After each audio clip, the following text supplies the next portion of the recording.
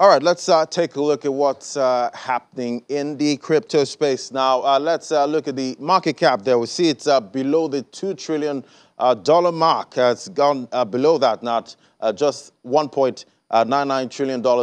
we see a 24-hour volume traded in total crypto space, 72.16 uh, billion dollars. That's down, down about 10.37%, and Bitcoin dominance there sitting at 40.08%. Uh, price of Bitcoin, $42,004 at 8 a.m. this morning, was up about 0.79%. We see Bitcoin still ranging uh, right now. Volume, $22.92 billion traded in Bitcoin. Uh, top alts by market cap, uh, not looking bad. Uh, just Cardano there in the red. It's down 1.79%, and CBNB up 3.34%. Uh, Let's uh, talk to uh, Bjorn now, uh, right there in Malaga. Great to have you, Bjorn. Good morning, Ladi. Good, Good morning. Yeah. So uh, I see, uh, you know, the crypto market has quite a number of influencers, and I see a report shows crypto scams in 2021 gulped about 14 billion dollars of uh, hard-earned uh, money. How do we avoid these? How do we avoid them? Um, it's hard. Also, the crypto scams don't only happen with investors, but they only also happen with the yeah, developers, the creators of these crypto projects. Um, as there are also yeah, marketing scammers, uh, people trying to scam these projects that uh, have the funds, of course, bigger funds to create these projects and the scams they get better and better over the time people are able to create fake followers on twitter facebook and can really create strategies while it looks like they have engagement people really listening to them but they're totally fake so um, yeah, at the moment the regulation system the law is really working uh, its ass off to get its regulations done really hunt these scammers that they get caught for what they are doing wrong uh, but at the moment i call it the wild west and it stays the Wild West for a while until these problems are solved.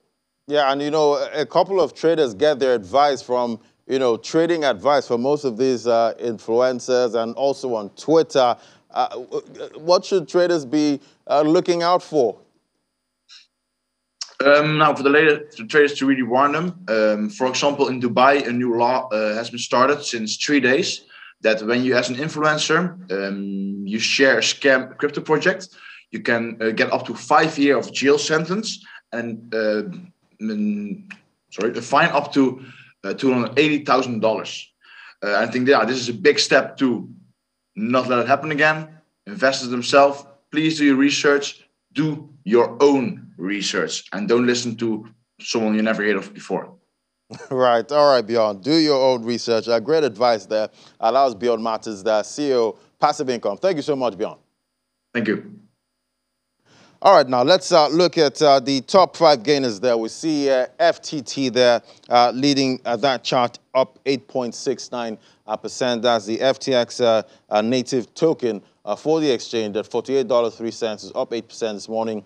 we see Luna there. Luna looking good, up 6.97%. That's the Terra blockchain protocol that uses a fiat pegged stable coins. You see Woo Network uh, Woo Network, a liquidity, uh, liquidity network there, up about 6.07%, and uh, Hedera Hashgraph, HBAR, uh, up there 5.29%. So uh, the top gainers list quite uh, lean uh, for what we're used to in the crypto market. Let's look at the losers there. It's also not so bad. STX there had a, a, a little rally yesterday. It's down about 7.19%. IOTX seven, down 7.15%. And Ethereum Classic, it did show up on the top gainers yesterday, but now I see a couple of, I see profit taking there. It's uh, $31.40 uh, per coin, down 5.91%. And uh, Aave there, Aave is also down 4.30%. And Kadena, uh, one of the, uh, the, the favorites of the of crypto traders right now, Kadena there, down about 3.65%. So uh, the crypto market still extreme fear this morning. All right, uh, that's it uh, on the program. Thank you so much uh, for watching. Do remember to join us at 1.30 p.m. Uh, at Business Incorporated for more updates in the world of business. Thank you so much for watching. I'm Ladi Williams. Bye for now.